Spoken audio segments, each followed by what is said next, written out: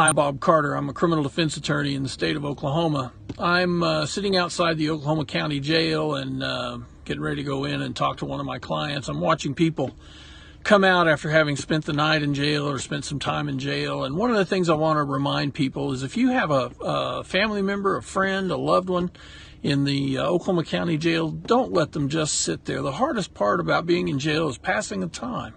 Uh, you can, according to the uh, Oklahoma County Sheriff's website, you can provide them with uh, uh, two or three envelopes with postage on it and some paper so they can write letters to people. You can provide them with one or two paperback books.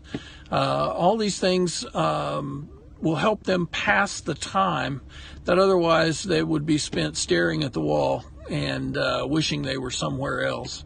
I hope you or your loved ones never have to do any time, county, prison, any time at all. It's got to be one of the worst experiences that our society has to offer. Uh, obviously, one of the easiest ways to avoid that is don't break the law.